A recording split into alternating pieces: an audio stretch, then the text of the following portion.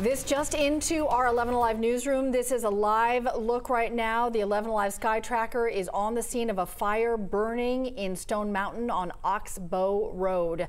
This call came in at 5:56 this morning. This is a single story residential building. Still a lot of flames that you see glowing behind that tree. Two people have been rescued. No injuries have been reported. We're working the phones. We'll bring you new information as soon as we have it.